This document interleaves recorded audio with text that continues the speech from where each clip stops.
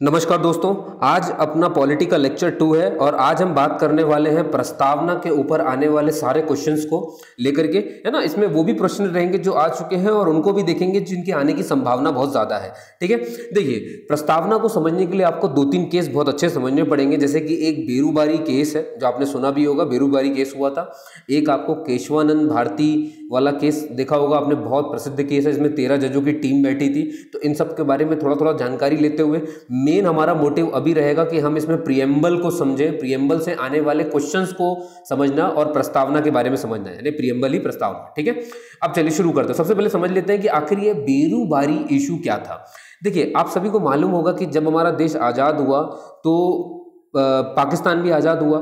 लेकिन बात यह थी कि पाकिस्तान भी दो थे उस समय। एक था पश्चिमी पाकिस्तान और एक था पूर्वी पाकिस्तान, है ना? आपको मालूम है ना पूर्वी पाकिस्तान ही बाद में जाकर के बांग्लादेश बन गया 1971 में। इंदिरा गांधी जी ने जब इसे हटाया मतलब पाकिस्तानियों को वहाँ से भगाया, क्योंकि वो शोषण कर रहे थे वहाँ पर बांग्लादेशी वाले बांग्लादेशी लोगों का। तो उन्होंने क्या किया? पूर्वी पाकिस्तान को बना दिया, बांग्लादेश और पश्चिमी पाकिस्तान अपने आप बन गया सिर्फ़ और सिर्फ़ पाकिस्तान। क्लियर है? तो आपको ध्यान ये रखना है कि उन्नीस सौ इकहत्तर में दो चीज़ें आई थी पश्चिमी पाकिस्तान पाकिस्तान बन गया था और पूर्वी पाकिस्तान बांग्लादेश बन गया था। ठीक है? ये आपको क्लियर हो गया। अब बात ये थी कि जब आज़ाद हुआ है तो दो देश है और दो देश बन गए तो बीच में रेखा भी तो डिसाइड होगी। तो भैया, पाकिस्तान के और इंडिया के बीच में रेखा को डिसाइड करने के लिए एक अंग्रेज़ आया और उस अंग्रेज़ का नाम रखा गया उस मतलब राम राम रखा गया क्या? नाम उसका पहले से था, उस अंग्रेज़ का नाम था रेड क्लिफ है ना? तो आपने देखा है कि भारत और पाक के बीच की सीमा को क्या कहा जाता है? तो आप आंसर करते भी हैं रेड क्लिफ कहते हैं उसे। तो रेड क्लिफ साहब आए। अब आप यकीन नहीं मानेंगे रेड क्लिफ साहब ने ये देखिए जरा, इन्होंने नक्शा आखिर, यानी इन्होंने बाउंड्री बनाई कैसे? इन्होंने क्या किया? ऑफ़िस में बैठे ऑफ़िस में बैठे बैठे एक नक्शा उठाया। नक्शा उठाते हुए बोलते भैया, ये रहा। बस वहीं पे बना दिया। और बोल दिया कि, भैया, ये हो गया पाकिस्तान और ये हो गया, भैया, हिंदुस्तान। ये। समझ गए आप? इतनी बेगैरत तरीके से उन्होंने कह दिया, ये हो गया। आपको मालूम है, अब जो इंसान घर में बैठे बैठे ऑफ़िस में बैठे बैठे इस तरह से बाउंड्री बनाएगा तो क्या उसको ये ध्यान रहा कि भाई, हो सकता है बाउंड्री में किसी के घर पड़ गया हो? है ना? मतलब कहने का ये हुआ कि जब उन्होंने बाउंड्री बनाई तो कई सारे गाँव, कई सारे घर बीच में आ गए। है ना, वो उनके ऊपर से निकल रहा था। कईयों के घर बिल्कुल बाउंड्री के मतलब ऐसे थे बिल्कुल। यानी कि जब वो इधर जाते थे, घर के अंदर होते थे तो पाकिस्तान में होते थे, और जब घर से बाहर निकलते थे, भैया तो वो इंडिया में होते थे। और कुछ लोग के घर के ऊपर से जा रही थी, बीच, बिल्कुल बीच में से। तो वो बंदे बेचारे अगर बाथरूम गए तो मालूम चला पाकिस्तान में, और जब इंडिया में आए तो मालूम चला खाने बैठे हुए। समझ पा रहे हो आप? इधर से उधर एक एक पल में वो हो रहे थे। इस बंदे ने इस तरह से ऐसे सीमा रेखा बना दी थी। बस यही एक विवाद है। तो आप जिस तरह से समझ रहे हो ना, बेरूबारी एक जगह का नाम है। ठीक है? बेरूबारी एक जगह है। अब बेरूबारी की कहानी ये थी कि बेरूबारी में मुस्लिम बहुत ज़्यादा थे। और आपको मालूम है कि जो पूर्वी पाकिस्तान जो अलग हुआ, जो बाद में बांग्लादेश बन गया था। ये देखिए, पूर्वी पाकिस्तान जो अलग हुआ, बाद में बांग्लादेश बन गया। तो उन्होंने कहा कि भैया, क्योंकि बेरूबारी में मुस्लिम ज़्यादा हैं तो एक काम करिए कि बेरूबारी को हमारे तरफ़ कर दीजिए। और हुआ ये, इसमें दो चीज़ें हुई थी। एक तो बेरूबारी जो है, उनकी, हमारे एरिया में रह गया था, मुस्लिम बहुल, और एक था कूच बिहार कूच बिहार जो था, वो हिंदुओं का था, और वो चला गया था पूर्वी पाकिस्तान में। तो डिसाइड ये हुआ, है ना, कि भैया, एक काम करते हैं तो उन्नीस सौ अट्ठावन में भारत पाक का समझौता होता है, इसमें नेहरू जी रहते हैं और फिरोज़ खान नूर रहते हैं। है ना? ये पूरी पाकिस्तान से रहते हैं। तो इनने डिसाइड किया कि भाई काम करते कूच बिहार ले लो आप और कूच बिहार ले लो आप और हमको दे दो भैया बेरूबारी। क्योंकि बेरूबारी में है मुस्लिम तो इधर आ जाएँगे और कूच बिहार में हैं आपके हिंदू तो वो इधर आ जाएँगे। तो उन्होंने बोला, ठीक है भैया, ऐसा कर लेते हैं। तो अब ये करने के लिए आपको मालूम है ना, ये बात 1958 की है, संविधान लागू हो चुका है। अब भैया, क्योंकि हमें एक राज्य का हिस्सा देना है दूसरी तरफ़ तो राज्य को जब भी हमें तोड़ना, मरोड़ना या उसमें पुनर्गठन करना, कुछ नया जोड़ना, उसका नया नाम रखना, ये सब जब करना होता है तो कोई ना कोई तो अनुच्छेद इस्तेमाल होता होगा। तो जो आर्टिकल जो अनुच्छेद इस्तेमाल होता है, वो होता है आर्टिकल तीन। इसमें दिया हुआ है राज्य का पुनर्गठन। आप उस राज्य को तोड़ना चाहते हैं आप उसको बढ़ाना चाहते हैं, काटना चाहते हैं, नाम बदलना चाहते हैं, क्या करना चाहते हैं, जो भी है, सब कुछ आर्टिकल तीन में। तो आर्टिकल तीन का इस्तेमाल किया गया, है ना? और इस तरह से इन्होंने ये चीज़ उधर दे दी, है ना? पुनर्गठन कर दिया गया। तो आप बोलेंगे तो ठीक हुआ, लेकिन ध्यान सुनिए। लोगों ने इसका कर दिया विरोध। भैया, भारत सरकार का क्यों कर दिया? उन्होंने विरोध इस बात पे किया कि भारत सरकार भारत के किसी क्षेत्र को, किसी विदेश को कैसे दे सकती है भैया? और आर्टिकल तीन में ये कहीं भी नहीं लिखा हुआ है कि किसी विदेश को तोड़ मरोड़ करके एक राज्य का हिस्सा दे दिया जाए। क्लियर है? ये संविधान के विरुद्ध में था। तो केस दर्ज हो गया भैया अपने भारत सरकार के खिलाफ। अब देखिए, यहाँ पे आइए। तो हुआ क्या कि अब ये बात पहुँची राष्ट्रपति के पास तो राष्ट्रपति ने अपने एक आर्टिकल 143 देखिए आर्टिकल को इसमें समझते चलिए, क्या होता है कि हम आर्टिकल अलग से नहीं पढ़ पाते हैं, लेकिन जब आप इस तरह के केस में रहते हैं तो उस आर्टिकल को याद करना बड़ा आसान हो जाता है। अभी आपने आर्टिकल तीन देखा, अब आप आर्टिकल वन में आ गए हैं, और इसका इस्तेमाल कौन करते दिख रहे हैं आपको? राष्ट्रपति। तो कैसे इस्तेमाल होता है, इसमें लिखा क्या है? आर्टिकल वन के तहत राष्ट्रपति सुप्रीम कोर्ट से सलाह मांग सकता है, ठीक है? तो उन्होंने मांगी, ठीक है? और आर्टिकल तीन के तहत उन्होंने बेरूबारी से मतलब उन आर्टिकल तीन के तहत उन्होंने पूछा, सलाह लेनी थी तो ये पूछ ले कि भैया बेरूबारी को क्या हम पाकिस्तान को दे सकते हैं? ऐसा हो सकता है? तो भैया सुप्रीम कोर्ट ने मना कर दिया। उनने बोला, भैया आर्टिकल तीन में किसी विदेश को राज्य का क्षेत्र देने की बात नहीं कही गई है। मतलब आप ये नहीं कर सकते किसी विदेश को दे दो। अपने ही हिंदुस्तान में उस राज्य को दूसरे मतलब एक राज्य के क्षेत्र को दूसरे राज्य में मिलाया जा सकता है, लेकिन उसे किसी विदेश को देने की बात नहीं कही गई है। तो अब उनने बोला, फिर क्या किया जाए? सुप्रीम कोर्ट ने कहा कि अगर आपको देना ही है तो पहले तो आपको अपने आर्टिकल 368 का 368 का इस्तेमाल करना पड़ेगा। 368 में लिखा हुआ संशोधन तो उनने बोला कि भैया संशोधन करिए आर्टिकल तीन में, है ना? आर्टिकल तीन में अगर आप संशोधन कर दे तो देखिए, संशोधन किसमें दिया हुआ है? आर्टिकल 368 368 ये कहता है, किसी भी भाग में संशोधन किया जा सकता है। आर्टिकल 368 के तहत, ठीक है? और अभी हमें आर्टिकल तीन में संशोधन करना है, क्योंकि उसमें हम अभी विदेश को दे नहीं पा रहे हैं और हम संशोधन करना चाहते हैं, संशोधन ये कर देंगे कि भैया विदेश को भी क्षेत्र दिया जा सकता है। ये बात क्लियर हुई। और भैया ये हुआ, बोला ही गया और ले आए भैया नौवा संविधान संशोधन। मालूम है ना आर्टिकल 368 के तहत ले आ सकते हैं। तो जो संविधान संशोधन आया, उसका नंबर याद रखिए। ये आया नौवा, इससे पहले आठ आ चुके थे। भारत सरकार लेकर के आई, संविधान किया। आर्टिकल तीन में इन्होंने संविधान कर दिया संविधान संशोधन कर दिया। अब देखिए, इससे कई सारे क्वेश्चन आते तो पहले मैं क्वेश्चन आपसे डिस्कस कर लूँ, फिर आगे मैं बढ़ूँ। आपसे ये पूछा जाएगा कि नौवा संविधान संशोधन जो है ये किससे रिलेटेड है? तो आपका आंसर ऑप्शन में मिलेगा भारत और पाकिस्तान के बीच सीमा निर्धारण से। मालूम ही है ना, आपको बेरूबारी देना है और हमें कूच बिहार लेना है। तो नौवा संविधान संशोधन लेकर के आए थे। अब ये पूछ लेंगे कि नौवा संविधान संशोधन किस आर्टिकल से जुड़ा हुआ है तो आपको मालूम ही आर्टिकल तीन से जुड़ा हुआ है तो दो क्वेश्चन यहाँ से बनते थे, वो मैंने आपको बता दिए। अच्छा देखिए तो अब तो सब कुछ ठीक हो जाना चाहिए तो दिक्कत क्या हुई? लेकिन बात यह है कि क्या सिर्फ़ संविधान संशोधन और आर्टिक मतलब आर्टिकल 368 और आर्टिकल थ्री ही है क्या हमारे संविधान में? नहीं भैया। इनके अलावा भी बहुत सारी चीज़ें, और सबसे पहला पन्ना हमारा प्रस्तावना है। और जिन्होंने पहला वीडियो देखा हुआ है, उनको तो ये बात पता चल गई होगी कि जब संविधान सभा की तीसरी बैठक हुई थी, और कब हुई थी बंदो? ये हुई थी तेरह दिसंबर उन्नीस सौ छियालीस को। और क्या हुआ था इस दिन? तेरह दिसंबर 1946 को ही नेहरू जी ने उद्देश्य प्रस्ताव रखा हुआ था। सबको याद होनी चाहिए ये बात, है ना? और नहीं है याद तो मैं आपसे बिल्कुल सजेस्ट करूँगा रिकमेंड करूँगा कि पहले इससे पहला वाला वीडियो देख लीजिए ताकि मेरी बात समझ में आ जाए। उसमें मैंने संविधान सभा के बारे में बताया हुआ है पूरा। उससे रिलेटेड जितने भी क्वेश्चन है, सारे उसमें बता दिए गए हैं। उससे बाहर नहीं आने की आशंका है। और फिर आप इस वीडियो को देखेंगे तो आपको ये बातें समझ में आएँगी। तो हम बात कर रहे हैं, जब संविधान सभा की तीसरी बैठक हुई थी, जो कि तेरह दिसंबर उन्नीस सौ छियालीस को हुई थी तो नेहरू जी ने उस दिन उद्देश्य प्रस्ताव रखा था।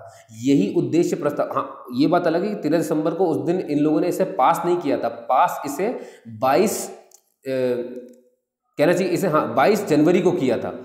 ये क्लियर है? ये आपने देखा होगा उसमें। 22 जनवरी को किया था। और आप सबको इसका रीजन भी पता है कि 22 जनवरी को क्यों किया था? क्योंकि अंबेडकर साहब ने मना कर दिया था। अंबेडकर साहब ने मना क्यों कर दिया था?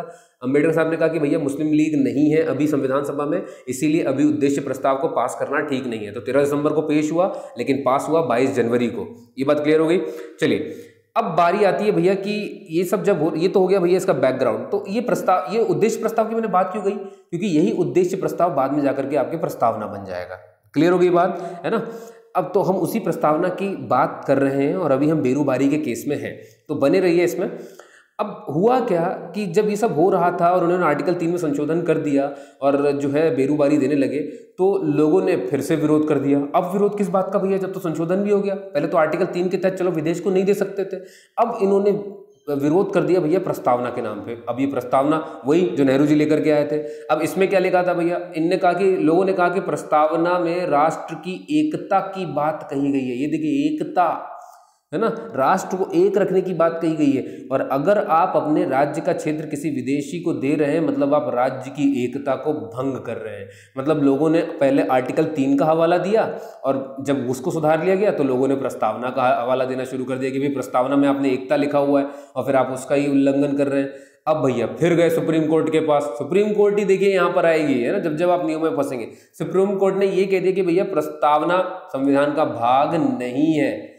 अब सोचिए जरा, अगर इस तरह से कह दिया जाए कि प्रस्तावना संविधान का भाग नहीं है तो क्या अब ये लाइन किसी के औचित्य की रहेगी? प्रस्तावना में लिखा है एकता मतलब ये किसी काम की नहीं है मतलब वो क्षेत्र आप दे सकते हैं। ये बात समझ में आ रही है? यानी आसान भाषा में ये हो गया। अब आपको जो याद रखना है, वो ये है इसमें कि बेरूबारी मामले में सुप्रीम कोर्ट ने क्या कहा था? तो मतलब प्रस्तावना को लेकर के तो बेरूबारी बेरूबारी मामले में प्रस्तावना को संविधान का भाग नहीं माना है, ठीक? और ठीक इसके उल्टा हो जाएगा केशवानंद भारती में। है ना, जो अभी अपन पढ़ने वाले हैं। तो देखिए भाई, ये थी बात 1960 की बेरूबारी में, जिसमें आपने देख लिया कि प्रस्तावना को सुप्रीम कोर्ट ने मना कर दिया कि ये भाग नहीं है। ठीक तेरह साल बाद 24 अप्रैल 1973 बहुत निर्णायक दिन, तेरह जजों की मैंने आपसे कहा, टीम बैठी थी, सात लोगों ने पक्ष में वोट किए थे और छह लोगों ने मतलब गैर तरीके से वोट मतलब इसके पक्ष में नहीं थे वो। अब भैया, आखिर केशवानंद है क्या मामला क्या है? पूरा समझ लीजिए इस बात को, फिर आगे बढ़ते हैं, है ना? बेरूबारी आप समझ गए। केशवानंद भारती वर्सेस केरल राज्य। केरल राज्य का मामला है। केशवानंद भारती एक बहुत बड़े मंदिर के मठ मतलब मठ के प्रमुख हैं, है ना? मंदिर के मठ के प्रमुख रहते हैं ये। उन्नीस सौ तिहत्तर की बात है। उस समय हुआ यह था कि केरल राज्य ने एक कानून पारित किया था, ज़मीन को लेकर के। तो अब ज़मीन को लेकर, और आपको मालूम है कि मंदिर मठों के आसपास बहुत सारी ज़मीनें होती हैं। तो उसी तरह से क्या हुआ कि मठ के आसपास की जो ज़मीन थी, वो केरल सरकार ने एक कानून के तहत छीन ली। ठीक? अब ये यहाँ तक आपको समझ में आता है कि चलो ठीक है। अब केशवानंद भारती ने कहा कि भैया, आर्टिकल 26 ये कहता है है ना? देखिए यहाँ पे आर्टिकल 26 तो आपको आर्टिकल का भी ध्यान रखना है। आर्टिकल 26 के तहत वो गए केस दर्ज कराने। उन्होंने कहा कि भैया, आर्टिकल 26 का उल्लंघन किया है केरल राज्य ने, मेरी ज़मीन छीन करके। उन्होंने बोला कैसे? भाई, क्योंकि आर्टिकल 26 में लिखा हुआ है कि ज़मीन के आस मतलब जो मंदिर है, उसके आसपास की ज़मीन की देख रेख करने का अधिकार ट्रस्ट को होता है, मठ को होता है है ना? वो उसके अधिकार कर सकती है, वो उसे मैनेज कर सकती है। तो आपने इसी अधिकार को मेरे छीन लिया है, आपने इस आर्टिकल का उल्लंघन किया है, यानी आपने कानून का उल्लंघन कर दिया है। अब भैया बहुत बड़ा मामला था, बहुत लंबे समय तक ये केस भी चला, बहुत सारी चीज़ें में बात भी करी गई। सुप्रीम कोर्ट ने ये कह दिया कि संसद को अधिकार है संशोधन करने का, इस किसी भी आर्टिकल को बदलने का। ठीक, ये एक बात कही गई। अभी आपको ध्यान सुनते आना है। अच्छा अब यहाँ देखिए तो अब इसमें क्या कहा गया होगा? इसमें यह कह दिया गया भैया कि प्रस्तावना को भी बदला जा सकता है है ना? सरकार उन्होंने कह दिया और ऐसा क्यों कह पाए? क्योंकि भैया उन्होंने ये कह दिया कि प्रस्तावना जो है अब इस केस में ये कहा गया है कि प्रस्तावना संविधान का भाग है। और अगर प्रस्तावना संविधान का भाग है तो जिस तरह से संविधान के सारे आर्टिकल में हम जो है संशोधन कर सकते हैं तो हम प्रस्तावना जो कि संविधान का भाग है तो इसमें भी हम संशोधन कर सकते हैं। ये बात क्लियर हो गई है ना? अब यहाँ देखिए तो अब ये ये, ये केस बड़ा खतरनाक था। तो यहाँ पर दो चीज़ें आपको ध्यान रखनी है जो मैंने कही। हाँ लेकिन एक एक बात और ध्यान रखिए कि जब ये पास कर रहे थे और उन्होंने कह दिया कि, देखो बीरू बारी में ये कह दिया गया था कि प्रस्तावना भाग नहीं है, लेकिन वहीं जो केशवानंद वाला मामला है, उसमें कह दिया कि प्रस्तावना भाग है। ये बात आपको ध्यान रखनी क्वेश्चन ऐसे ही आते हैं।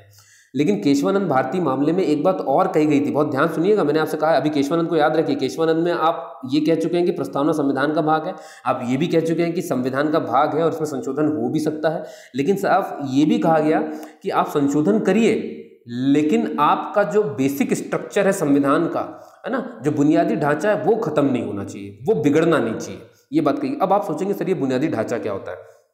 मतलब बुनियादी ढांचे पे बने रहिए। यहाँ देखिए, बेरूबारी में बुनियादी ढांचे की बात नहीं कही गई है। केशवानंद भारती में आपको बुनियादी ढांचे की बात कही गई है और सिर्फ़ इतना कहा गया है कि इसको जो है बिगड़ना नहीं चाहिए। केशवानंद भारती मामले में ये कहा है। तो तो अब क्या हुआ? तो अब आखिर बेसिक स्ट्रक्चर होता क्या है? तो बेसिक स्ट्रक्चर क्या होता है भैया?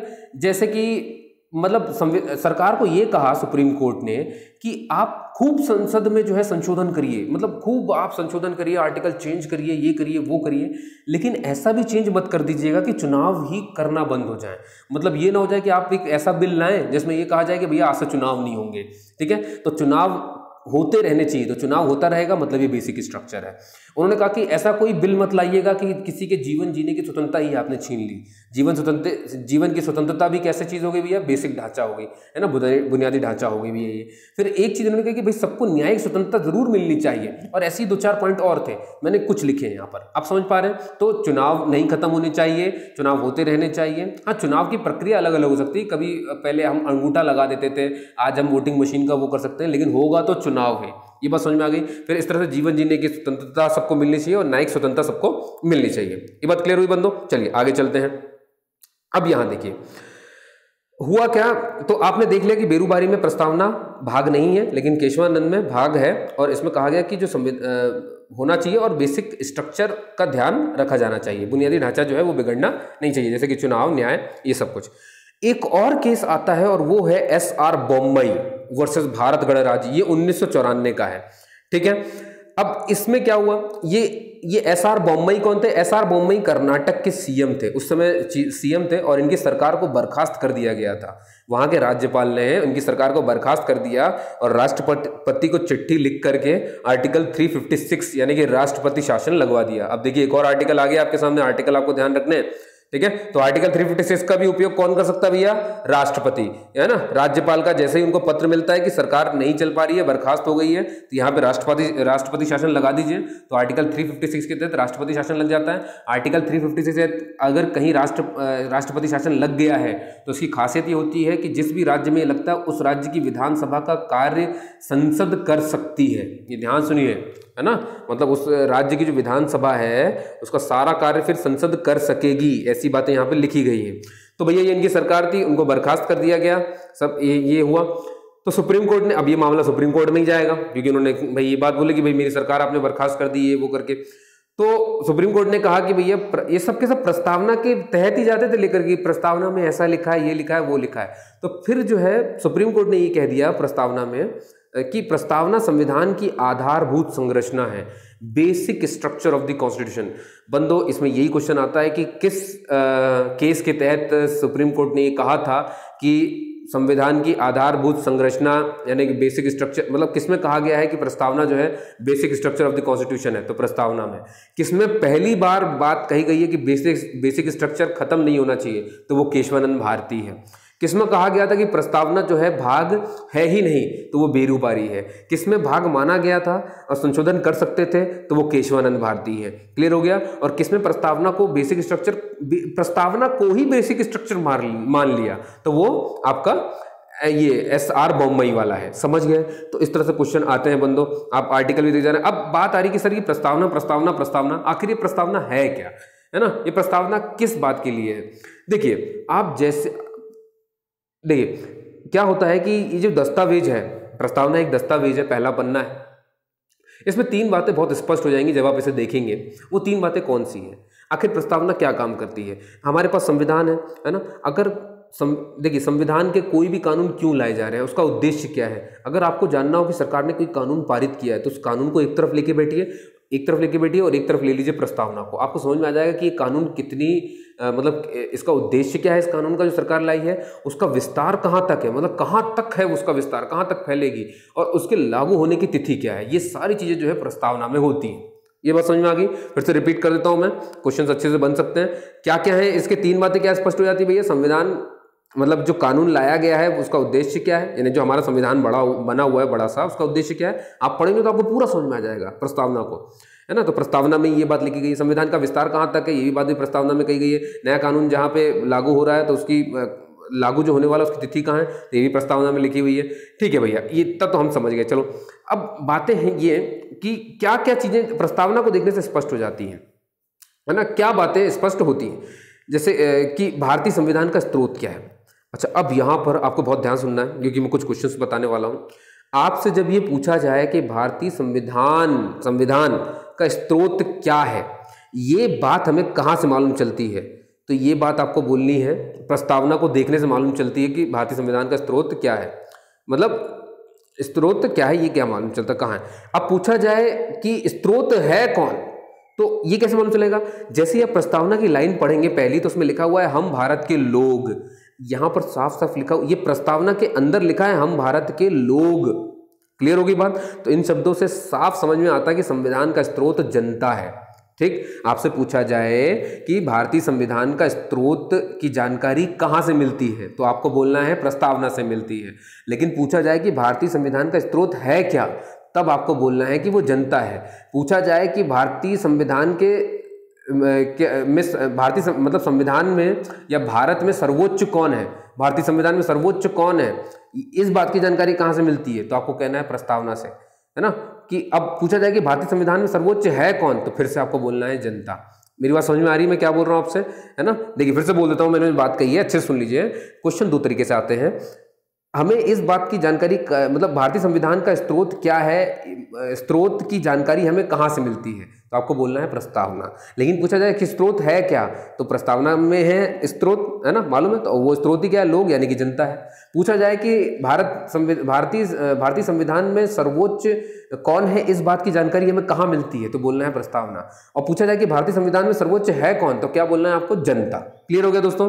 चलिए, आगे बढ़ते हैं इसी को लेकर के। अगला है हमारे पास।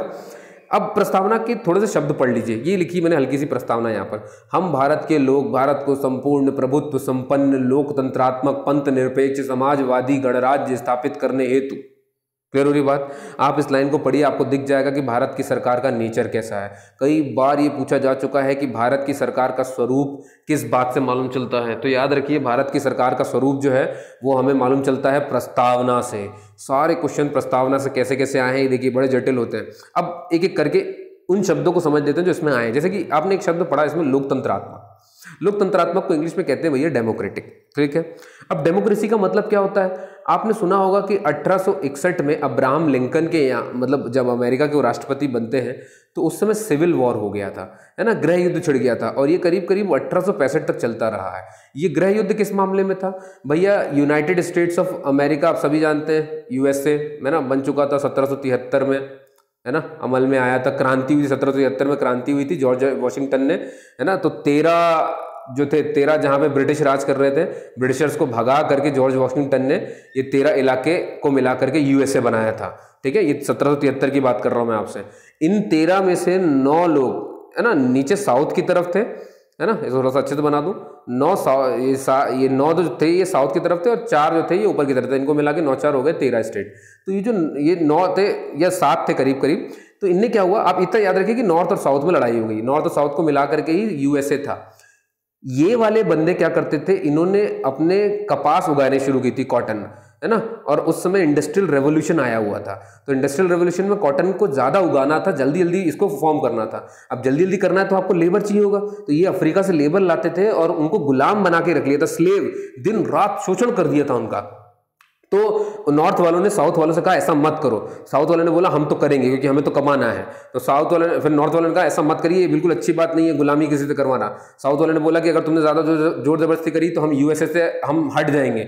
अब भैया, उस समय अब्राहम लिंकन अब्राहम लिंकन ने साउथ वालों को चमकाया, है ना? साउथ अमेरिका वालों को मतलब साउथ अमेरिका नहीं मतलब अपनी साउथ वालों को उनसे ये कहा कि भैया सुनो, अगर तुम अलग हुए तो मैं तुम्हें फिर अच्छे से बताऊँगा। ये लोग माने नहीं अलग होने लगे। उन्होंने अब्राहम लिंकन ने ठान ली थी कि खून हो जाए हो जाए। खून खराबा कर दिया अब्राहम लिंकन ने, लेकिन इनको अलग नहीं होने दिया। जबकि इनके संविधान में लिखा हुआ है कि ये खुद से अलग हो सकते हैं। लेकिन अब्राहम लिंकन ने बोला, ऐसा कुछ नहीं होगा। इन सबसे साइन करवाया, इन सबको खदेड़ दिया। और आज भी ये एक ही है। आप समझ पा रहे हैं इस बात को? आज भी कोई अलग नहीं हो सका है। तो ये बात थी अब्राहम लिंकन की और अब्राहम लिंकन ने उसी समय लोकतंत्र होने का जो डेफिनेशन दी थी वो ये थी कि जो सरकार होती है वो जनता का होती है, जनता के द्वारा होती है, जनता के लिए होती है।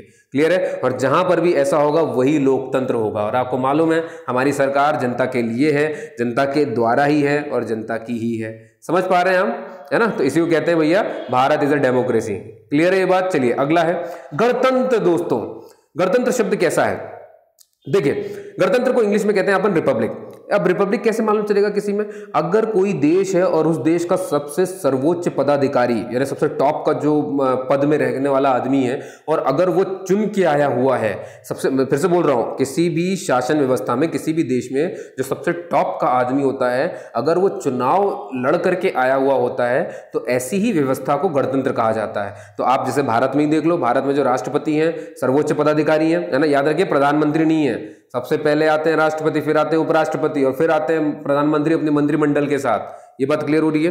तो सबसे बड़े अधिकारी हमारे यहाँ राष्ट्रपति हैं। और आप देखिए, राष्ट्रपति जी का भी हमारे यहाँ चुनाव होता है, निर्वाचित होते हैं। वो बात अलग है कि वो अप्रत्यक्ष रूप से होते हैं। चुनाव दो तरह के होते हैं, प्रत्यक्ष रूप से, अप्रत्यक्ष अप्रत्यक्ष रूप से। प्रत्यक्ष रूप से जब हम, यानी जनता जो है वोट दे सकती है, अप्रत्यक्ष रूप से जब जनता वोट नहीं देती है, जनता के द्वारा चुने गए लोग जब वोट देते हैं तो उसे कहते हैं अप्रत्यक्ष। तो ये अप्रत्यक्ष रूप से आता है उससे फ़र्क नहीं पड़ता आते तो चुनाव से ही। है क्लियर है दोस्तों? अब तो आ, आप समझ गए ना तो भारत में गणतंत्र है तो भारत में लोकतंत्र भी था भारत में गणतंत्र भी है। अब एक क्वेश्चन इसमें से आता है कभी आपसे पूछा जाए कि भारत एक स्वतंत्र राष्ट्र कब बना? स्वतंत्र! तो पंद्रह अगस्त उन्नीस सौ सैंतालीस को बना। लेकिन पूछा जाए कि भारत गणतंत्र कब बना? देखिए गणतंत्र समझ रहे हैं ना? गणतंत्र बनने के लिए संविधान लागू होना चाहिए। संविधान कब लागू हुआ? 26 जनवरी 1950 दोनों क्वेश्चन में बहुत अच्छे से अंतर रखिए बंदो। स्वतंत्र होने के लिए 15 अगस्त उन्नीस सौ सैंतालीस, लेकिन गणतंत्र के लिए, गणराज्य बनने के लिए 26 जनवरी 1950 अगला शब्द आपने इसमें देखा पंथ निरपेक्ष जैसे धर्म निरपेक्ष भी लोग कह देते हैं। तो क्या हमारी सरकार पंथ निरपेक्ष है? धर्म निरपेक्ष है? बिल्कुल। हमारी सरकार किसी एक पंथ की नहीं है और ना ही किसी एक पंथ को बढ़ावा देती है। वो किसी भी धर्म के प्रति नहीं है है ना? निष्ठा रखती है। इसका मतलब ये नहीं है, वो सभी धर्मों के प्रति निष्ठा रखती है। आपको ये समझ के चलना है, वो सभी की है। ठीक है? सारे पंथ एक जैसे हैं, उसके लिए सब एक समान है।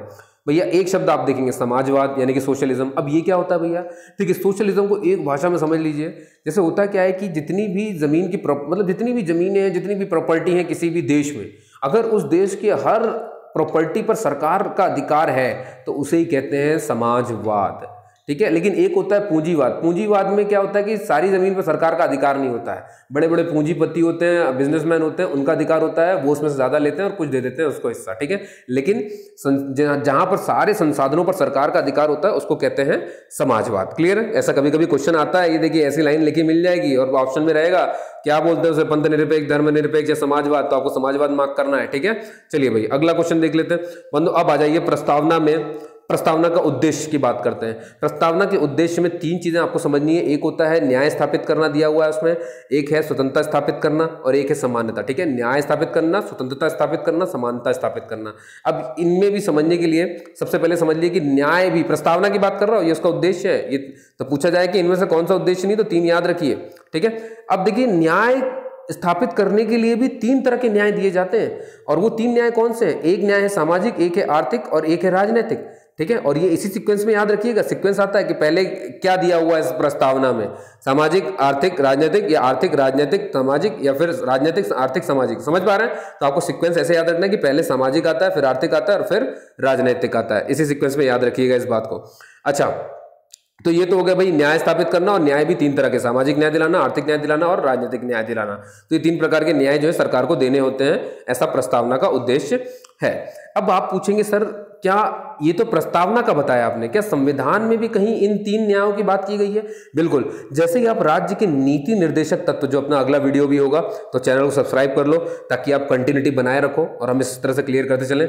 जब आप राज्य के नीति निर्देशक तत्व पढ़ेंगे और उसमें आर्टिकल थर्टी में जाएँगे तो वहाँ पर भी ये तीन न्याय वैसे के वैसे दिए हुए हैं। ठीक है? तो आपसे पूछा जाए कि प्रस्तावना में और आर्टिकल थर्टी में और प्रस्तावना में क्या समानता है? तो आपको बोलना है तीन न्याय की समानता है, सामाजिक, आर्थिक और राजनीतिक। क्लियर होगी बात? आर्टिकल 38 में भी वही दिया देखिए, आर्टिकल का भी ज्ञान बढ़ाते चले जाए यहाँ पे धीरे धीरे तो भैया बंधु हमने देख लिया कि भैया न्याय होते हैं तीन तरह के, हमने देख लिया आर्टिकल 38 में भी है। अब बात करते हैं कि स्वतंत्रता कितने तरह की स्थापित की गई है। कितनी तरह की दी गई है? प्रस्तावना की बात हो रही है, यहाँ पे ध्यान सुनिए। प्रस्तावना में न्याय तीन तरह के। स्वतंत्रता पाँच तरह की। देख रहे हो? स्वतंत्रता स्थापित करना पाँच तरह की स्वतंत्रता दी गई है, पाँच प्रकार की। कौन कौन सी? भाई, विचार की स्वतंत्रता है, अभिव्यक्ति की स्वतंत्रता है, विश्वास की स्वतंत्रता है, धर्म की स्वतंत्रता है, उपासना की स्वतंत्रता है। क्लियर होगी बात? और सिक्वेंस भी याद रखिए, बिल्कुल ऐसे ही सिक्वेंस ऐसे ही आएगा। पहले आते हैं आपके विचार फिर आएगा आपका अभिव्यक्ति, फिर आएगा विश्वास, और फिर आएगा धर्म, और फिर आएगी उपासना। क्लियर हो गया? अब आप पूछ, और हाँ इसमें अब कोई आर्टिकल आता है सर? बिल्कुल आता है। इसमें आर्टिकल कौन की स्वतंत्रता है ना स्वतंत्रता के लिए कौन सा आर्टिकल इस्तेमाल करते हैं अपन? आर्टिकल उन्नीस। ठीक? लेकिन आर्टिकल उन्नीस में पाँच प्रकार की स्वतंत्रता नहीं दी गई है। वहाँ पर दी गई है छह प्रकार की स्वतंत्रता। ठीक है? इस बात का थोड़ा सा ध्यान रखिएगा। अब एक चीज़ कॉमन है जो इसमें याद रखिए। आर्टिकल 19 में आपको छह प्रकार की स्वतंत्रता तो मिली है, लेकिन उसमें लिखा हुआ है एक, उसमें भी लिखा हुआ है अभिव्यक्ति की स्वतंत्रता। तो आपसे कभी कभी ये पूछ लेंगे कि आर्टिकल 19 में और प्रस्तावना में क्या समानता है? तो आर्टिकल 19 में भी अभिव्यक्ति है और प्रस्तावना में भी अभिव्यक्ति की स्वतंत्रता है। आपको दिख रहा है ना? है ना? तो दोनों में समानता अभिव्यक्ति की स्वतंत्रता का है आर्टिकल 19 में और प्रस्तावना में। है ना? और आर्टिकल 38 में पूछा जाए तो बोलना है आपको तीन न्याय। क्लियर हो रही है बात? ठीक है? तो न्याय थे तीन तरह के आर्टिकल 38 प्रस्तावना के राजनीति आर्टिकल 38 में भी है और राज्य के मतलब राज्य के नीति निर्देशक तत्व के अंदर में। और फिर पूछा जाए कि आपके पास स्वतंत्रता कितनी है तो बोलना है आपको पाँच और लाइन से याद होनी चाहिए बिल्कुल, जैसे मैंने लिखे हुए हैं, आपको दिख भी रहे हैं। और इससे जुड़ा हुआ एक आर्टिकल नाइनटीन उसमें अभिव्यक्ति आता है, ये भी ध्यान रखना है। अब आती है भैया कि हमारा तीसरा पॉइंट था, यहाँ पर आपको समानता समानता के बारे में बात कर लेते भैया। समानता किस तरह के हैं? समानता दिए गए हैं दो तरह के। एक है आपकी अवसर की समानता और एक दी गई है आपको प्रतिष्ठा यानी कि स्टेटस की समानता। क्लियर होगी? क्या इससे जुड़ा कोई आर्टिकल है? फिर से एक आर्टिकल है भैया सोलह। भाई, आपको मालूम है, न्याय में थर्टी एट आर्टिकल था, स्वतंत्रता में आपका उन्नीस आर्टिकल था तो भाई समानता स्थापित करने में अब इसमें भी संविधान में भी तो कोई आर्टिकल होगा तो सोलह भी मिल गया भैया। ठीक है? सोलह में क्या लिखा हुआ है? अवसर की समानता। और आप देख रहे हैं, यहाँ पर भी अवसर की समानता। तो आपसे पूछा जाए कि आर्टिकल सोलह में और प्रस्तावना में क्या अंतर मतलब क्या समानता है? तो आपको बोलना है आर्टिकल 16 में अवसर लिखा हुआ है और यहाँ पर भी अवसर लिखा हुआ देखो, प्रतिष्ठा नहीं लिखा हुआ आर्टिकल 16 में। मैं जिस बात को बोलूँ, सिर्फ़ वही सुनिएगा, उससे ज़्यादा मत समझ लीजिएगा। ठीक है? चलिए, अब बात आती है भैया, इसमें प्रस्तावना के ही शब्दों की बात कर रहे हैं अभी अपन। समानता भी देख ले ये भी उसमें जुड़ा हुआ था, समानता स्थापित करना ये उसका उद्देश्य था। अब इसकी एक बात है भाई, बंधुत्व, है ना? अब ये बंधुत्व को क्या मामला है? बंधुत्व यानी कि ब्रदरहुड होता है। ये भी प्रस्तावना में दिया हुआ है। अब बात है कि देखिए, तीन शब्दों का ध्यान रखिए। हमारे संविधान में तीन शब्द जुड़े गए स्वतंत्रता, समानता और बंधुत्व। स्वतंत्रता आपने देख ही लिया, है ना? पाँच प्रकार के, समानता भैया आपके दो प्रकार के और अभी बंधुत्व जो आप पढ़ रहे हैं, ये तीनों के तीनों शब्द जोड़े मतलब लिए गए हैं। कहाँ से लिए गए? फ्रांस की क्रांति जब हुई थी तो फ्रांस की क्रांति में ही ये तीन शब्द दोहराए गए थे, स्वतंत्रता, समानता, बंधुत्व। तो आपको याद रखना, कभी पूछा जाए कि फ्रांस से कौन से तीन शब्द हैं जो समान, जो प्रस्तावना में हमने जोड़े हैं? तो आपका आंसर रहेगा स्वतंत्रता, समानता और बंधुत्व। क्लियर है? अब आप बोल सकते हैं, सर, बंधुत्व क्या किसी आर्टिकल में दिया हुआ है? बिल्कुल भैया। आपके जब आप मूल कर्तव्य पढ़ेंगे अपने, है ना फंडामेंटल ड्यूटीज़ देखिए मैं फंडामेंटल राइट्स की बात नहीं कर रहा हूँ, मूल अधिकारों की बात नहीं कर रहा हूँ, ये मूल कर्तव्य है, जो कि भाग चार ए में दिए हुए हैं और उसमें भी आर्टिकल फिफ्टी वन ठीक है? अब इसमें भी आर्टिकल है। तो बंधुत्व दिया हुआ आर्टिकल फिफ्टी वन में है ना? अवसर की समानता दी है आर्टिकल 16 में। ये सब बिल्कुल ऐसे सीक्वेंस में याद रखिए किससे किसका आर्टिकल जुड़ा है। तो मैंने क्या किया है? एक तरफ़ प्रस्तावना रख दी है, एक तरफ़ प्रस्तावना है और एक तरफ़ संविधान का आर्टिकल है। तो क्वेश्चन क्या? दोनों को मिला करके आता है। तो आपको ये ईजी हो जाएगा कि कैसे इसे पढ़ा जा रहा है। तो समझ पा रहे ना आप ना? तो आप याद रखिए, फ्रांस से तीन शब्द स्वतंत्र समानता, बंधुत्व, है ना? और बंधुत्व किस आर्टिकल में है? तो भाग चार ए के, यानी कि मूल कर्तव्य। भाग चार में मूल कर्तव्य दिए हैं और उसमें आर्टिकल 51 के तहत आपको बंधुत्व तो मिल जाएगा। क्लियर हुआ गाइस चलिए, आगे चलते हैं फिर। अब देखिए, क्योंकि आपने ये देख लिया, प्रस्तावना में और क्या उल्लेखित है, अब ये देखते हैं। जिन्होंने पहला वीडियो देखा है, उनको मैंने बताया था कि जो संविधान है, वो आंशिक रूप से लागू हुआ था 26 नवंबर उन्नीस सौ उनचास को। तो कई बार ये क्वेश्चन हो जाता है कि प्रस्तावना में, क्योंकि देखिए दो डेट इंपॉर्टेंट है। 26 नवंबर उनचास को हमारा जो संविधान है वो आंशिक रूप से लागू हुआ था। आंशिक रूप से का मतलब है कुछ भाग उस दिन लागू हुए थे और जो बागी, जो बाकी के भाग हैं वो सारे के सारे 26 जनवरी 1950 जिस दिन हमारा गणतंत्र हम बन गए, संविधान लागू हो गया। है ना? संविधान पूरा इस दिन लागू हुआ, लेकिन कुछ भाग 26 नवंबर उन्नीस सौ उनचास को भी लागू हुआ था। अब कभी कभी ये पूछ लेते हैं कि 26 नवंबर में और 26 जनवरी में, इनमें से कौन सी ऐसी डेट है जो प्रस्तावना में दी हुई है? तो आपको ध्यान रखना है, प्रस्तावना में 26 जनवरी 1950 का कोई उल्लेख नहीं है। वहाँ पर जिस जिस डेट का उल्लेख मिलेगा आपको, वो 26 नवंबर की डेट है। तो ठीक है, फिर से इसीलिए मैंने यहाँ पे एक ब्लॉक डायग्राम बना के रखा, आप देख रहे हैं, प्रस्तावना में 26 नवंबर तो है, लेकिन 26 जनवरी नहीं है। लेकिन वहीं आर्टिकल तीन सौ चौरानवे देखेंगे ना तो तीन सौ चौरानबे में आपको 26 नवंबर उन्नीस सौ में मिल जाएगा और आपको 26 जनवरी उन्नीस सौ पचास में मिल जाएगा। अब कईयों को नहीं पता है कि आर्टिकल 394 क्या है तो मैंने पिछले वीडियो में ऑलरेडी बता के रखा है। फिर से बता देता हूँ, इस बार यहाँ पर देख लीजिए हल्का सा, लेकिन उस वीडियो को ज़रूर देखिए ताकि आपको ये क्लियर हो जाए। देखिए, हुआ क्या कि 26 नवंबर उन्नीस को, भाई हमें आंशिक रूप से जो है, मालूम है ना आपको, हमने थोड़ा सा संविधान लागू किया था इस दिन, कुछ भाग, कुछ हिस्से लागू कर दिए थे। तो संविधान लागू किया है तो कोई आर्टिकल भी तो लागू किया होगा। तो हमने सबसे पहले यहाँ पर आर्टिकल थ्री ये जो मैंने लिखा है ना, यही वाला, यही लागू किया था इस दिन। ट्वेंटी सिक्स नवंबर उन्नीस को। लेकिन आर्टिकल 394 लागू करने से मतलब नहीं है, आर्टिकल 394 के अंदर 15 आर्टिकल थे, है ना? इसमें लिखा गया था कि हम 15 आर्टिकल लागू कर रहे हैं। तो होता क्या है कि कभी आपसे पूछा जाए कि 26 नवंबर उन्नीस सौ उनचास को टोटल कितने आर्टिकल लागू हुए? तो देखिए यहाँ पर 15 ये, और ये 15 जिस आर्टिकल में है, वो है तीन सौ चौरानवे। मालूम है ना? ये आर्टिकल तो एक ये भी तो आर्टिकल है। तो पंद्रह प्लस एक कितने हो गए? सोलह। तो क्वेश्चन पूछा जाए कि छब्बीस नवंबर उन्नीस सौ उनचास को कितने आर्टिकल लागू हुए? तो सोलह बोलेगा। और पूछा जाए कि छब्बीस नवंबर उन्नीस सौ उनचास के उनचास में आर्टिकल तीन के तहत कितने लागू हुए? तब आंसर पंद्रह हो जाएगा। ये बात क्लियर हो गई आपको? बढ़िया। अच्छा अब मैंने आपसे कहा कि आर्टिकल तीन सौ चौरानवे में छब्बीस नवंबर भी लिखी है और छब्बीस जनवरी भी लिखी है। तो देखिए मैंने आपसे कहा ना आर्टिकल थ्री में दोनों डेटें हैं। छब्बीस उन्होंने ये कहा कि भाई आंशिक रूप से 394 के तहत हम 15 आर्टिकल लगा रहे हैं 26 नवंबर को। लेकिन इसके अलावा और article thirteen three nine four में ही लिख दिया कि इसके बाद का जितना भी संविधान है वो सब लागू हो जाएगा 26 जनवरी को। ये बात क्लियर होगी इसीलिए thirty article three nine four में आपको छब्बीस नवंबर भी मिलती है, छब्बीस जनवरी भी मिलती है, लेकिन प्रस्तावना में सिर्फ़ आपको छब्बीस नवंबर मिलेगी, आपको वहाँ पर छब्बीस जनवरी नहीं लिखी मिलेगी। ये बात क्लियर हो गई? बढ़िया। अब भैया बात करते हैं कि इसके बाद अब क्या बचा प्रस्तावना में? तो देख रहे ना, प्रस्तावना में कौन सी डेट है, कौन सी डेट नहीं है, आपको ध्यान रखना है। अच्छा छब्बीस नवंबर इंपॉर्टेंट क्यों ये तो मालूम कर लीजिए। आपसे एक क्वेश्चन बहुत बार पूछा भी गया, संविधान को अंगीकृत कब किया गया था? तब मत लगा दीजिएगा 26 जनवरी, तब भी आंसर 26 नवंबर है। ठीक है? आंशिक रूप से लागू होने की डेट 26 नवंबर। संविधान को अंगीकृत करने की डेट 26 नवंबर। आर्टिकल थ्री प्रस्तावना में कौन सी डेट दी गई है? 26 नवंबर। आर्टिकल 394 में क्या क्या दिया है? 26 नवंबर भी दिया हुआ है और 26 जनवरी भी दिया हुआ है। ओके अब आगे बढ़ते हैं। भाई, इसके अलावा तीन चीज़ें और दी गई हैं इसमें। देखिए इसमें साफ़ साफ़ लिखा गया है कि अंगीकृत होना, अधिनियमित होना और आत्म आत्म, आत्मार्पित करना, है ना? ठीक है? संविधान। अब ये क्या मतलब है? देखिए, ये सब के सब संविधान से रिलेटेड है, लेकिन लिखे प्रस्तावना में गए हैं। अंगीकृत करने का मतलब है अडॉप्ट कर लेना। अधिनियमित करने का मतलब है इनेक्टमेंट आत्मर्पित करने का मतलब क्या होता है भैया कि संविधान को स्वयं को सौंप देना। इसको अच्छे समझा देता हूँ। देखिए, हुआ क्या कि इसमें अंगीकृत होने का मतलब हुआ कि मतलब इस संविधान को हम स्वीकार करते हैं। इनेक्टमेंट का, इस वाले का पॉइंट का मतलब हुआ कि हम संविधान को लागू करते हैं देखो स्वीकार किया, लागू किया और स्वयं को सौंप दिया। जो बनाने वाले थे, उन्होंने खुद पर भी इसे लागू कर लिया। तो ये तीन बातें भी आपको पूछी जाए कि कहाँ लिखी हैं तो ये भी लिखी गई है प्रस्तावना में। अंगीकृत करना, अधिनियमित होना और आत्मर्पित होना। क्लियर हो गई बात? ये तीन शब्द वही है।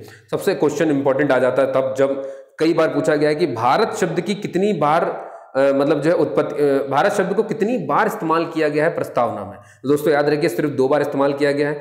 और ये कहाँ है? भैया, आप यकीन नहीं मानेंगे, प्रस्तावना की पहली लाइन में ही और वो दोनों शब्द लिखे हुए हैं। आप ये देखिए, पहली लाइन ये लिखी, मैंने, हम भारत के लोग भारत के लिए। समझ गया ना? हम भारत के लोग भारत को। यहाँ से शुरू होता है। तो आप देख रहे हो, दो बार भारत है और बस इतने ही भारत है। इसके नीचे फिर कोई भी बार भारत नहीं लिखा हुआ है। तो प्रस्तावना में सिर्फ़ दो बार भारत आता है और वो भी पहली लाइन में आता है। क्लियर हो गया, दोस्तों? अब देखिए क्योंकि आपने अभी अभी अभी आपने पढ़ा था ना? मैंने आपसे कहा था, केशवानंद भारती मामले में केरल राज्य में क्या बताया गया था कि प्रस्तावना जो है संविधान का भाग है और सरकार इसमें बिल्कुल उसी तरह से संशोधन कर सकती है, जिस तरह से वो बाकी संविधान के किसी हिस्से में करती है। तो अगर प्रस्तावना भी हिस्सा है संविधान का तो इसमें भी संशोधन वो कर सकेगी। ये बात समझ में आ रही है आपको? तो इसका फ़ायदा उठाते हुए केशवानंद भारती मामले में जो फैसला हुआ कि प्रस्तावना में संशोधन हो सकता है और संशोधन आर्टिकल थ्री के तहत होता है, आपको अभी मैंने बताया तो भैया सरकार ने संशोधन कर भी दिया प्रस्तावना में। और कब किया? ये तब यह उन्नीस की डेट, देख लो आप। है ना? केशवानंद भारती, आपको मालूम ही है ना, उन्नीस सौ तिहत्तर में आया था। तिहत्तर में ठीक तीन साल बाद संशोधन भी कर दिया उसमें। और ये जो संशोधन था, इसका नंबर था बयालीसवां संविधान संशोधन। और इसी संशोधन के तहत, ये देखो जरा किसमें संशोधन किया जा रहा है? प्रस्तावना में। और तीन शब्द और जोड़ दिए गए, समाजवाद, पंथ निरपेक्ष और अखंडता। ठीक है? ये तीन शब्द जो फ्रांस से लिए जाने वाले शब्द तीन अलग है। पीछे जाकर के वीडियो को रिवाइंड करके अच्छे से देख लीजिएगा, है ना? नोट कर लीजिएगा कि तीन शब्द फ्रांस के कौन से हैं और बयालीसवें संविधान संशोधन के तहत कौन से हैं। और संशोधन हमने किस बिहाफ में किया है? केशवानंद भारती बनाम केरल राज्य में जो बात कही गई थी कि प्रस्तावना जो है संविधान का अंग है और उसमें संशोधन हो सकता है तो उन्नीस सौ छिहत्तर में संशोधन करके तीन शब्द और जोड़ दिए गए। समाजवाद पंथ अखंडता। ये बात क्लियर होगी दोस्तों? चलिए फिर, अब आगे चलते हैं यहाँ पर। अब वीडियो को एंड करते हैं तो क्योंकि आपको मालूम है कि कुछ बातें जो हैं, है ना, ढेर सारे आपने क्वेश्चन देखे। अब एक आता है कथन, कि भाई किसने प्रस्तावना के लिए क्या कहा? तो सबसे पहले बंदे हैं यहाँ पर ठाकुर प्रसाद भार्गव। ठाकुर प्रसाद भार्गव भार्गव वो है जो कि संविधान सभा के सदस्य हैं। ये बात क्लियर होती है। इन्होंने प्रस्तावना के बारे में क्या कहा? इन्होंने दो बातें कही है भैया, दो बातें कही इन्होंने एक तो संविधान, प्रस्तावना को कहा कि प्रस्तावना संविधान का सबसे महत्वपूर्ण भाग है। तो आपसे पूछा जाए कि संविधान प्रस्तावना को संविधान का सबसे महत्वपूर्ण भाग किसने कहा? तो आपको बोलना है ठाकुरदास भार्गव ने। आपसे पूछा जाए कि प्रस्तावना को संविधान की आत्मा किसने कहा? तो भी वही ठाकुरदास भार्गव। ये देखिए तो इन्होंने प्रस्तावना को भारत संविधान की आत्मा भी कहा और संविधान का सबसे महत्वपूर्ण भाग भी कहा। ठीक है? और एक हमारे बच जाते हैं के एम मुंशी। देखिए के एम मुंशी जी संविधान सभा नहीं, प्रारूप समिति के सदस्य थे। आपने पढ़ा, पिछला वीडियो देखिए दोस्तों, मैं बार बार बोलूँगा, इससे पहले वाला वीडियो जो है, उसको देख के लिए ज़रूर, ताकि आपको सब कुछ क्लियर हो जाए। तो के एम मुंशी जो थे, इन्होंने प्रस्तावना को लेकर क्या कहा? इन्होंने कहा कि भारतीय संविधान की जन्म, प्रस्तावना जो है, भारतीय संविधान की जन्म कुंडली है। क्लियर हुआ दोस्तों? तो ठीक है दोस्तों, यही इसी के साथ इस वीडियो को यहीं पे समाप्त करता हूँ। आप लोगों ने मुझे सुना, उसके लिए बहुत बहुत धन्यवाद। अगले वीडियो में मैं फिर से मतलब अपन कुछ और इसका हिस्सा लाएँगे। वो पॉलिटिकल लेक्चर थ्री होगा। तो उस वीडियो को देखने के लिए आप सब्सक्राइब करना ना भूलें सब्सक्राइब कर लें और बेल आइकन को ज़रूर दबा लें। इससे आपको आने वाले मेरे जितनी वीडियोज़ हैं, उनका नोटिफिकेशन मिलता रहेगा। बस दोस्तों, तब तक के लिए जय हिंद और जय भारत।